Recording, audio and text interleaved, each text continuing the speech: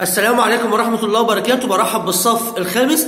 إن شاء الله النهاردة يا ولاد هنكمل درس المفعول المطلق. فاكرين لما خدنا المفعول المطلق؟ قلنا إيه؟ اسم منصوب من نفس حروف الفعل. صح كده؟ وبعدين قلنا ليه نوعين؟ في مؤكد للفعل في مبين للنوع. المؤكد للفعل خدناه الحصة اللي فات أو في الفيديو اللي فات. انطلق الصاروخ انطلاقا. اجتهد العاملين اجتهادا. أسرعت للمدرسة إسراعا. أحترم والدي احتراما نام الطفل نوما. النهارده إن شاء الله ناخد المفعول المطلق المبين للنوع. محدش يتفرج على المفعول المطلق المبين للنوع ده إلا لما يكون خد المفعول المطلق المؤكد للفعل عشان يفهم الكلام. است- أستخدم الكمبيوتر استخداما صحيحا. قبل ما أعرف لازم أحدد نوع الجملة الجمله جملة فعليه استخدم أستخدم دلوقتي فعل مضارع مرفوع. أول ما نسمع كلمة فعل مضارع نعمل إيه كلنا؟ الكهرب يعني نركز ده بيبدأ بحرف إيه؟ الألف. أي فعل مضارع بيبدأ بالألف؟ والفاعل ضمير مستتر تقديره أنا أستخدم أنا. بعد الفاعل نقرأ الجملة أستخدم الكمبيوتر. احتمال تطلع مفعول به وغصب عنك تطلع مفعول به لسبب. المفعول المطلق والمفعول لاجليه في جمله فعليه ما فيهمش ألف ولام. اسم منصوب ما فيش قدامه حرف جر. هنقرأه من الشمال اليمين الفعل هيطلع فيه حرف اله والكمبيوتر ده اللي أنا بستخدمه. أنا جبت كلمة أنا ليه؟ لأن الفعل ضمير مستتر زي ما اتفقنا. والكمبيوتر ده اللي أنا بستخدمه. نفع. ماذا أستخدم؟ الكمبيوتر. دي شروط المفعول بيها وليه؟ اسم منصوب ما فيش قدامه حرف جر. نقراه من الشمال اليمين. لازم الفعل يطلع فيه حرف اله في الحالة دي اسأل بماذا؟ اللي جاوب مفعول به على طول. ماذا أستخدم؟ الكمبيوتر. مفعول به منصوب وعلامه النصبيه ده مفرد. يبقى الفتحة. بعد المفعول به نرجع نقرا الجمله تاني. أستخدم الكمبيوتر استخداما. ها؟ أستخدم استخداما. اسم اهو منصوب ما فيش قدامه حرف جر. وجاي من نفس حروف الفعل. أستخدم استخداما. هتعملها على نفسك باللغة العامية يعني خليك انت اللي استخدمت. ده أنا النهارده استخدمت استخدام. نفع. اسم من نفس حروف الفعل. خدناه فين؟ مفعول مطلق منصوب. وعلامة نصبية ده مفرد يبقى الفتحه طيب حاجة أقول نوعه. لازم أقرأ الكلمة اللي وراه عشان أشوف هي ليها علاقة بمين. أستخدم الكمبيوتر استخداما صحيحا. كلمة صحيحا دي ليها علاقة بالجملة الفعلية ولا ليها علاقة باستخداما؟ طب أنا هعرف منين؟ اقرأ دي. الجملة الفعلية مرة مع صحيحا ومرة استخداما مع صحيحا. بصوا أستخدم الكمبيوتر صحيحا. مش نافعة. طب استخداما صحيحا. نافعة. حلو. اسمين ورا بعض. والاتنين ما فيهمش ألف ولام بس الاتنين فيهم تنوين. بنسمي اللي ما فيهوش ألف ولام ده في الاسم نكرة. يبقى ده نكرة. ما فيهوش ألف ولام وده نكرة ما فيهوش ألف ولام نكرة ونكرة يا نعت يا مضاف إليه. طب أنا أعمل إيه بقى دلوقتي؟ حط على الكلمتين دول ألف ولام كده بس بعد ما تشيل التنوين شيل التنوين هنا وهنا. الاستخدام الصحيح.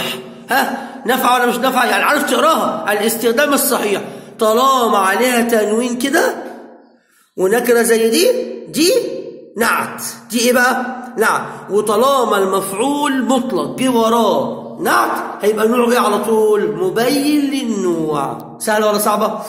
يبقى أنت هنا مش بتاكد بقى الفعل اللي أنت استخدمت الكمبيوتر وخلاص. ده أنت بتبين نوع الاستخدام. أنا استخدمت الكمبيوتر استخدام إيه بقى؟ صحيح. ده نوع الاستخدام. سهل ولا صعب ها هنعملها كمان مرة تبقى سهلة عليكم يخلص المسلول لوطنهم إخلاصا عظيما. قبل ما أعرف لازم أحدد نوع الجملة الجملة جملة فعلية يخلص يخلص دلوقتي فعل مضارع مرفوع. ها نعمل إيه؟ نتكهرب يعني نركز. ده بيبدأ بحرف الياء لا من حقنا نسأل بمن نجيب الفاعل. هو لو بدأ بالألف ما بنسألش. لو بدأ بالنون ما بنسألش. أما بالياء والتاء من حقنا نسأل بمن نجيب الفاعل. من الذي يخلص؟ المصريون. فاعل مرفوع. وعلامة رفعه الواو لأنه جمع مذكر سالم. بعد الفاعل نقرأ الجملة. يخلص المصريون لوطنهم. ها؟ إيه لوطنهم خلاص قبلها حرف جر فهنجيبها من المشترك. دي سهلة. اللام حرف جر مبني وطن اسم مجرور بحرف الجر اللام وعلامة جريدة مفرد يبقى الكسر. أما الضمير اللي إحنا في الاسم ده ما خدناهوش لسه. نرجع نقرأ الجملة تاني. يخلص المسؤول لوطنهم إخلاصا. ها؟ إخلاصا. اسم منصوب ما فيش قدامه حرف جر ومن نفس حروف الفعل. يخلص إخلاصا. هتقولها إزاي؟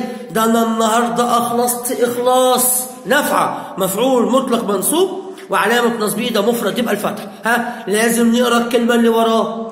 يخلص المسؤول لوطنه إخلاصا عظيما. عظيما دي. ليها علاقة بالجملة الفعلية ولا ليها علاقة بإخلاصا؟ هنقرأ دي ودي ودي ودي. يخلص المصريون لوطنهم عظيما. ولا إخلاصا عظيما إخلاصا عظيما. ها؟ اسمين ورا بعض. نكرة مفهومش ألف ولام. نكرة ونكرة. يا نعت يا مضاف إليه. هنعمل إيه؟ حط على الكلمتين ألف ولام. بس شيل التنوين. الإخلاص العظيم. نفعة نفعة ده نعت تبقى اسمين ورا بعض. نكرة مفهومش ألف ولام. والاتنين عليهم تنوين كده شايفين؟ أهو. وحطينا ألف ولام بعد ما شلنا التنوين ينفعوا الإخلاص العظيم. دي نعت وطالما جه ورا نعت يبقى نوعه إيه؟ مبين للنوع. سهل يا أولاد. كمان واحدة؟ يعاقب الله الكافرين عقابا شديدا. الجملة جملة فعلية يعاقب يعاقب دلوقتي. فعل مضارع مرفوع. ها نقارب يعني نركز. ده بيبدأ باليه من حقنا نسأل بمن نجيب الفاعل. من الذي يعاقب؟ الله لفظ الجلالة تأدبا مع الله بنكتب لفظ الجلالة فاعل مرفوع وعلامة رفعه ده مفرد يبقى الضمة بعد الفاعل نقرأ الجملة يعاقب الله الكافرين. احتمال تطلع مفعول به اسم منصوب أنا ليه بقول احتمال؟ لأن لو طبقنا الشروط ما نفعلش مش هنعرفها مفعول به. وما نعرفها إيه؟ حاجة ما خدناهاش مالناش دعوة بيها. اسم منصوب ما فيش قدامه حرف جر نقراه من الشمال لليمين الفعل ده لازم يطلع فيه حرف الهي والكافرين دول اللي الله هيعاقبهم. نفعه ماذا يعاقب الله؟ الكافرين. مفعول به منصوب وعلامة نصبه الياء لأنه جمع مذكر سالم. سهل يا أولاد. وقبلها كان يخلص المسؤول قلنا مرفوع علامة رفعه الواو لأنه جمع مذكر سالم. هنا بقى مفعول به منصوب علامه نصبه ليه لأنه جمع مذكر إيه؟ سالم. يعاقب الله الكافرين عقابا. ها؟ اسم منصوب ما فيش قدامه حرف جر. وجي من نفس حروف الفعل هنعملها على نفسنا باللغة العاميه ده النهارده عاقبتك عقاب صح؟ يبقى مفعول مطلق منصوب وعلامه نصبه ده مفرد يبقى الفتحه الكلمة اللي ورا دي علاقة بمين؟ يعاقب الله الكافرين عقابا شديدا. يعاقب الله الكافرين شديدا ولا عقابا شديدا؟ عقابا شديدا. اسم واسم. نكرة ما فيش ألف ولام نكرة ما فيش ألف ولام. نكرة ونكرة يا نعت يا مضاف إليه. حط على الكلمتين الف ولام بس لما نشيل التنوين. العقاب الشديد. نفعه ده النعت. سهلة؟ وطالما جه ورا نعت يبقى نوعه إيه؟ مبين للنوع. أحب القراءة حبا جما. قبل ما أعرف لازم أحدد نوع الجمله جملة. جملة فعليه أحب أحب دلوقتي فعل مضارع مرفوع. نتكهرب يعني نركز ده بيبدأ بالألف. والفاعل ضمير مستتر تقديره أنا. أحب أنا. بعد الفاعل نقرأ الجملة. أحب القراءة. احتمال تطلع مفعول به. اسم منصوب. مفيش قدامه حرف جر. نقراه من الشمال اليمين الفعل بيطلع فيه حرف اله والقراءة دي اللي أنا بحبها. نفعة. ماذا أحب؟ القراءة. مفعول به منصوب وعلامة نصبه ده مفرد. يبقى الفتحة بعد المفعول به نرجع نقرأ الجملة تاني. أحب القراءة حبا. ها أحب حبا. اسم من نفس حروف الفعل. احتمال يطلع مفعول مطلق. ده أنا النهارده حبيت حب. نفعة. مفعول مطلق منصوب وعلامه نصبه ده مفرد. يبقى الفتح ولا الذكي يقول لي مش إحنا خدنا حبا دي. مفعول لأجله إحنا اتفقنا. حبا مفعول لأجله لو الفعل ما اسموش أحب صح؟ يعني مثلا إيه؟ آه أستزيد من القراءة أو أقرأ كثيرا حبا في حبا حبا في قراءة ينفع مفعول لأجله إنما هنا من نفس حروف الفعل. طالما من نفس حروف الفعل يبقى ما فيش حاجة اسمها مفعول لأجله ده مفعول مطلق. يبقى إيه الفرق بين المفعول به والمفعول المطلق؟ بيبقوا الاثنين اسم ومنصوب ونكره ما فيهمش ألف ولام. بس المفعول المطلق بيبقى من نفس حروف الفعل. المفعول لاجله مش من نفس حروف الفعل. مفعول مطلق منصوب وعلامه نصبه ده مفرد يبقى الفتحه نقرا الكلمة اللي وراها أحب القراءة جما ولا حبا جما؟ حبا جما. اسم واسم. نكرة مفيش ألف ولام نكرة مفيش ألف ولام. يا نعت يا مضاف إليه. حط عليهم ألف ولام كده بس لما نشيل التنوين. الحب الجم نفع يعني الكثير. ما يبقى ده نعت وطالما جه ورا نعت يبقى نوع مبين للنوع. يبقى الأمثلة الأربعة دي زي ما شفنا المفعول المطلق جه ورا إيه؟ نعت أستخدم استخداما صحيحا. يخلص إخلاصا عظيما. يعاقب عقابا شديدا. أحب حبا جما. ده كله مفعول إيه بقى؟ مطلق. مبين للنوع لأن يجي وراه. نعت طب المضاف إليه يجي إزاي؟ بطريقة سهلة خالص. وإحنا إن شاء الله هناخد الترم ده المضاف إليه. فيبقى سهل عليكم. يجيد النمر السباحة إجادة السابحين. الجملة جملة فاعلية. يجيد دلوقتي فعل مضارع مرفوع. الكهرب ده بيبدأ بالياء. من حقنا نسأل بمن نجيب الفاعل. من الذي يجيد النمر فاعل مرفوع وعلامة رفعه ده مفرد يبقى الضمة بعد الفاعل نقرأ الجملة. يجيد النمر السباحة. احتمال تطلع مفعول به. اسم منصوب مفيش قدامه حرف جر. هنقراه من الشمال لليمين الفعل هيطلع فيه حرف اله. والسباحة دي اللي النمر بيوجدها نفعه ماذا يجيد النمر؟ السباحة. مفعول مطلق مفعول به منصوب وعلامة نصبه ده مفرد يبقى الفتح. مفعول به. بعد المفعول به نرجع نقرأ الجملة تاني. يجيد النمر السباحة. إجادة. إجادة دي اسم من نفس حروف الفعل صح؟ يجيد إجادة. اسم منصوب ما فيش قدامه حرف جر ومن نفس حروف الفعل. ده أنا النهارده اجدت اجاده اهي نافعة. مفعول مطلق منصوب وعلامة نصبه ده مفرد يبقى الفتحه بص إيه اللي جوه وراها بقى؟ وملاحظين حاجة؟ المفعول المطلق هنا ما جاش فيه تنوين. بصوا المفروض مثلا نقول إجادة ما قالش إجادة قال إجادة. نبص الكلمة اللي وراها. يجيد النمر السباحة السب... السباحين ولا إجادة السباحين؟ إجادة السباحين. اسمين ورا بعض. ده نكرة ما فيهوش ألف ولام. اللي فيه ألف ولام بقى بنسميه معرفة. اسم فيه ألف ولام بنسميه إيه؟ معرفة. يبقى نكرة. وراه معرفة ده مضاف إليه. وإن شاء الله هناخد الترم ده بإذن الله مع بعض. وطالما المفعول المطلق جه وراه مضاف إليه نوع مبين للنوع. سهلة؟ كمان واحدة. يذاكر الولد مذاكرة العلماء الجملة جملة فعلية. يذاكر دلوقتي فعل مضارع مرفوع. نتكهرب لا بيبدأ باليه. يعني نركز من حقنا نسأل بمن نجيب الفاعل. من الذي يذاكر الولد؟ فاعل مرفوع وعلامة رفعه ده مفرد يبقى الضمة. بعد الفاعل نقرأ الجملة. يذاكر الولد مذاكرة يذاكر مذاكرة اسم منصوب ومن نفس حروف الفعل. صح يا ولاد أهو.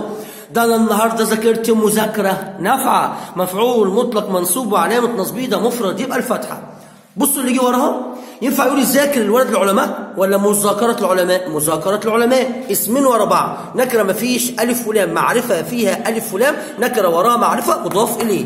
وطالما جه وراها مضاف إليه يبقى نوعه إيه؟ مبين للنوع. سهلة؟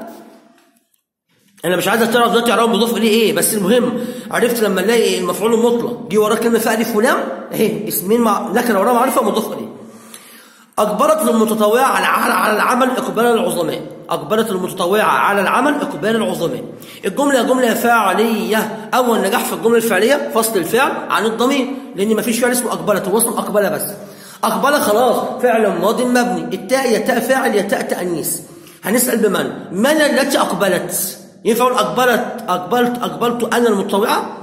ولا اقبلت المتطوعة. مين اللي اقبلت المتطوعة؟ ودي بنت يبقى التاء تاء تانيث والمتطوعة دي فاعل. يبقى التاء تاء تانيث المتطوعه دي إيه؟ فاعل مرفوع علامة رفعه ده مفرد. يبقى الضمة. بعد الفعل نقرا الجملة. اقبلت المتطوعة على العمل. طالما حرف جر خلاص. على. حرف جر مبني. العمل اسم مجرور بحرف الجر على وعلامة جريده مفرد. يبقى الكسرة. نرجع نقرأ الجملة تاني. اقبلت المتطوعة. لازم نرجع نقرأ الجملة تاني ليه؟ عشان نشوف الكلمة ليها علاقة بالفعل ولا لأ. أقبلت المتطوعة على عمل اقبالا أو إقبال. أقبلت أو أقبلت إقبال. اسم من نفس حروف الفعل. اسم. منصوب ما فيش قدامه حرف جر. من نفس حروف الفعل. خدناه فين؟ في المفعول المطلق. ده النهارده أقبلت إقبال. مفعول مطلق منصوب وعلامة نصبه ده مفرد. يبقى الفتح. كان المفروض يبقى اسمها اقبالا صح؟ شوف الكلمة اللي وراها. أقبلت المتطوعة على عمل العظماء ولا إقبال العظماء؟ إقبال العظماء. اسمه اسم. نكرة ما فيش. ألف ولام. معرفة فيها ألف ولام. نكرة وراه معرفة. مضاف إليه. وطالما جه مضاف إليه بقى نوعه إيه؟ مبين للنوع آخر مثال معانا. اجتهد التلاميذ اجتهاد الفائزين. الجملة جملة فاعلية. اجتهد اجتهد. خلاص. فعل ماض مبني. بعد الفعل نسأل بمن نجيب الفاعل. من الذي اجتهد؟ التلاميذ. فاعل مرفوع. وعلامة رفعه الضمة لأنه جمع تكسير. بعد الفاعل نقرأ الجملة. اجتهد التلاميذ اجتهاد. اجتهد اجتهاد. اسم منصوب من نفس حروف الفعل. ده أنا النهارده اجتهدت اجتهاد. نفعة مفعول مطلق منصوب وعلامة نصبه ده مفرد. يبقى الفتحة نشوف الكلمة اللي وراه. اجتهاد التلاميذ الفائزين ولا اجتهاد الفائزين؟ هي نفع الاثنين صح؟ بس الفائزين ليه علاقة باجتهاد هنا؟ اجتهاد الفائزين. ليه؟ ما ينفعش نقول اجتهاد التلاميذ الفائزين اجتهاد. مش جاية كده. هو اجتهد التلاميذ اجتهاد الفائزين. اجتهاد كمان ما فيهاش تنوين زي ما شايفين. هيبقى الكلمة اللي وراها ليها علاقة بيها. اسم واسم. نكرة ما فيش ألف ولام. معرفة فيها ألف ولام. نكرة وراها معرفة مضاف إليه. سهلة؟ طالما المفعول المطلق ما جاش فيه تنوين يا ولاد ركزوا. لو الكلمة اللي وراها على طول فيها ألف ولام هتبقى دي مضاف إليه اعرفوا إن هو مبين للنون. نعمل نموذج عربي سريع كده. يعيش الناس عيشة عيشة سعيدة. الجملة جملة فعلية يعيش دلوقتي فعل مضارع مرفوع. نقارب ده بيبدأ بالياء من حق. من حقنا نسأل بمن نجيب الفاعل. من الذي يعيش الناس فاعل مرفوع وعلامة رفعه يا مفرد يبقى الضمه لأن الناس ملهاش جمع ملهاش مفرد. أو ملهاش جمع يعيش الناس عيشة عيشة. يعيش عيشة. اسم من نفس حروف الفعل. ده أنا النهارده عشت عيشة. نفعه مفعول مطلق منصوب وعلامة نصبه ده مفرد. يبقى الفتحه يعيش الناس سعيدة ولا عيشه سعيدة؟ عيشة سعيدة. اسمه اسم. نكرة ما فيش ألف ولام. نكرة ما فيش ألف ولام. لو عليهم تنوين هنشيل التنوين. نحط ألف ولام. يا نعت يا مضاف اليه العيشه السعيدة. طب ما هي نفعه ده نعت. وطالما جه ورا نعت يبقى نوعه إيه؟ مبين للنوع. ارجو تكونوا فهمتوا يا ريت يا أولاد نتفرج مع بعض نتفرج بنظام على الفعل الفاعل المفعول به المفعول لأجله المفعول المطلق على فجوهين عشان نجيب مرة اللي هو المفعول المطلق المؤكد للفعل ومرة المفعول المطلق المبين للإيه؟ للنوع. والسلام عليكم ورحمة الله وبركاته.